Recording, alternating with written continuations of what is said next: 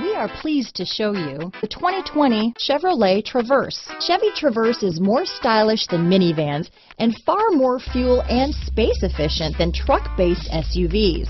Crossovers like the Traverse are excellent family vehicles. This vehicle has less than 100 miles. Here are some of this vehicle's great options.